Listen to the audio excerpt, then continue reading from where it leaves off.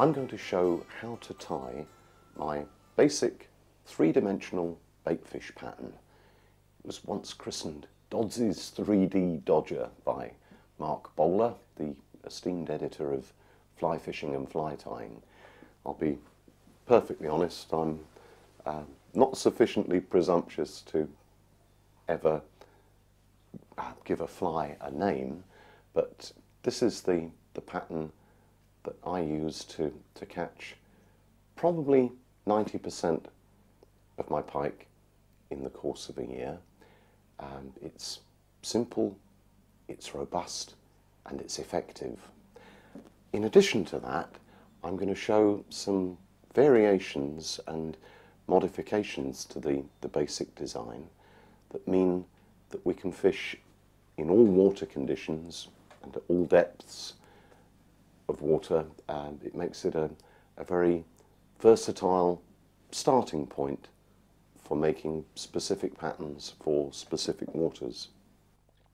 The hook that I'm going to use is a pretty big beast. It's a, a 4 one, no barb, quite fine in the wire, but good and strong. Um, I've never had one of these let me down. It's a, a partridge Ad Swier absolute pike fly hook designed by uh, a chap from Holland, Ad Swier, who was really at the forefront of fly fishing for pike. And as yet, I haven't found a hook that I like more than this one. I appreciate that it isn't perfect uh, because it's fine in the wire. It's got a, a degree of flex and that makes some fishermen a little bit suspicious about how well it will hold. But whilst I found there is that degree of flex, I've never had one straighten out. Um, they're my choice. Um, other people are allowed different ideas with that. The fact that it's barbless as well, I find it uh, convenient rather than having to, to pinch off barbs because I always fish barbless for pike. I'm going to start by uh, winding some thread along the hook shank to give me a, a base for my fly. And the thread that I'm using is Kevlar, which is used in the defense industry for making bulletproof jackets and the like. It's strong, which lets me pull hard and crank the fly together. I will confess that I now need to wear spectacles for this process. I'm going to take it, take the thread along the hook shank. I'm not too worried about the cost. I position it just with some loose turns and then start to, to tie it in hard. I'm using some, some fritz. I'm just stripping the material off the flue, tie in the flue on the hook shank.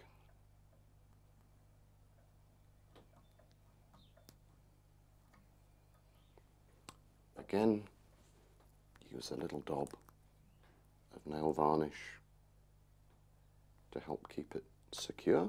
Tie that in very securely, close, close, hard pulled down turns of the Kevlar. And then I'm going to take the Kevlar thread in a, a wider spiral, so as not to use too much of it, up to about the position where I'm going to start to form the head of my fly. Okay. And along the shank of the hook, then, I'm going to lay a bed of old nail varnish because when I wind the fritz along the hook shank to form the, the underbody, it will then be secured. So if a pike's teeth snag through the flue of the finished fly, instead of it all unravelling, it should stay in reasonable order to catch, catch more pike. So now I'm going to take this fritz up along the hook shank and with this I'm always trying to use the minimum amount of material but at the same time get the largest appearance into my fly. Simply making a big fly by using lots of material makes it too bulky, too difficult to cast. So I wind it on, I'm just teasing the, the fritz fibres back. Again, I'll strip a little bit of the fibre off the end of the flue.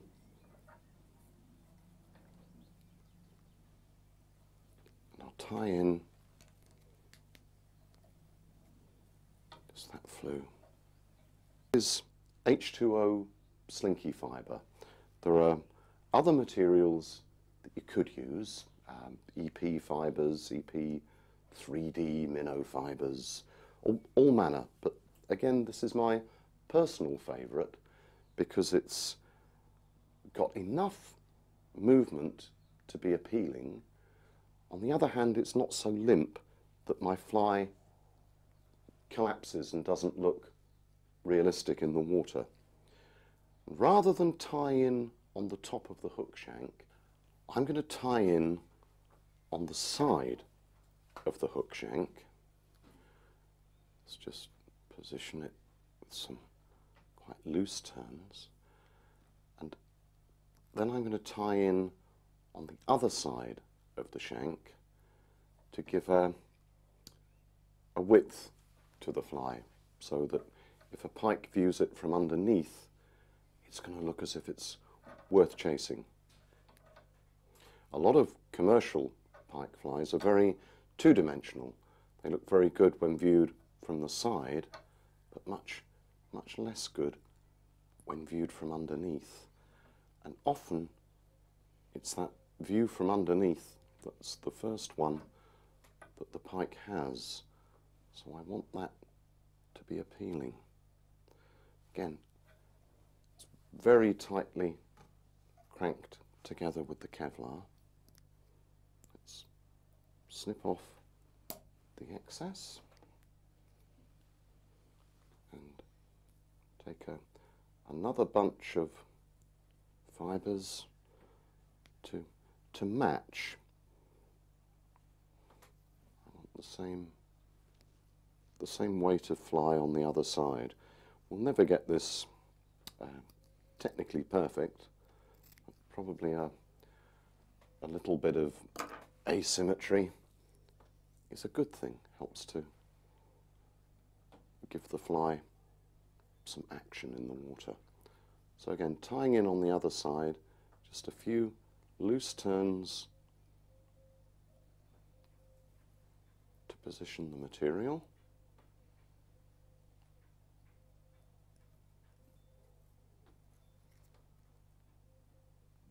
tighter turns to hold it. Take off the excess and again look to incorporate some varnish into the tying.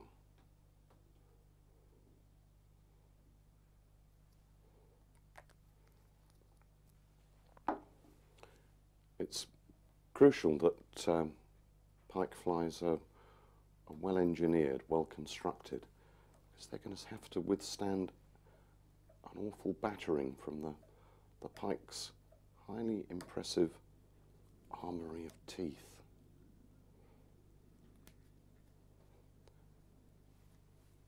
The Kevlar thread, apart from just tying the fly together, is also starting to, to form the head of the fly.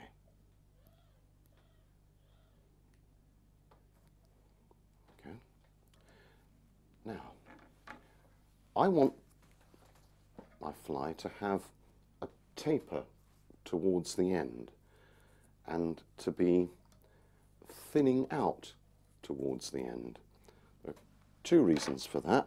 One is to get a, a realistic shape to my fishy fly, and the other is to get that nice, gentle movement in the fly that will make it look alive rather than like a, a big bunch of fluff on a hook being pulled through the water. And this is uh, a blend of yellow and olive, which is called wild olive.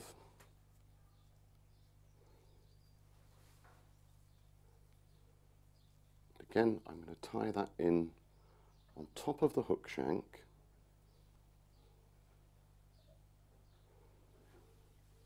Gently to start with, just to hold it in position.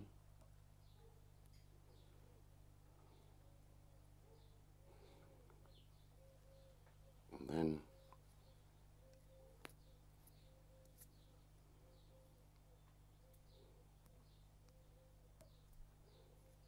then rather more firmly.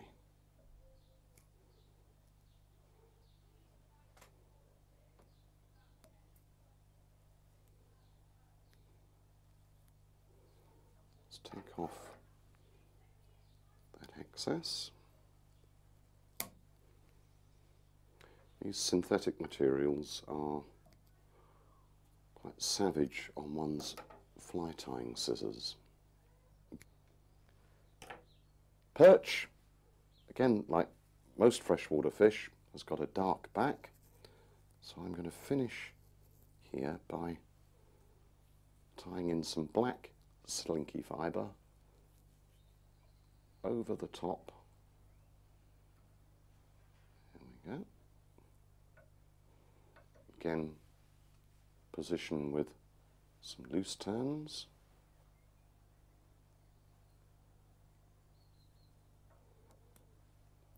Finish with some really hard, tight ones.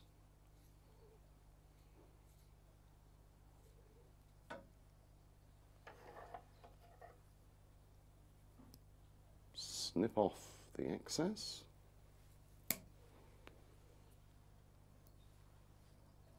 Just tidy up those few straggly bits. Incorporate some varnish.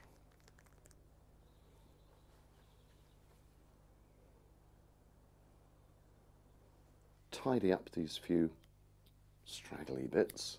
Not, don't need to be too fussy about that. Now I'm going to actually make the general shape of the head. Lots of good, firm turns. And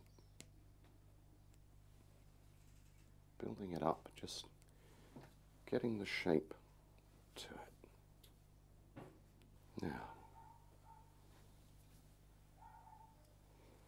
Out of the vise, if you look at it from underneath, you can see how that thinning process has actually given the fly some shape.